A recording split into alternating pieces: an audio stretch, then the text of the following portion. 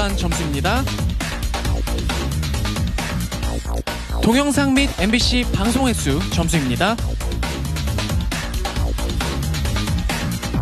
사전 투표 점수입니다.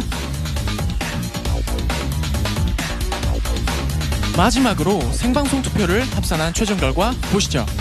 자, 3위는 레드벨벳이고요.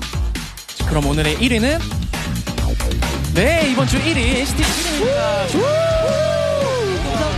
정말 축하드립니다. 마크 씨 소감 한 말씀 부탁드릴게요.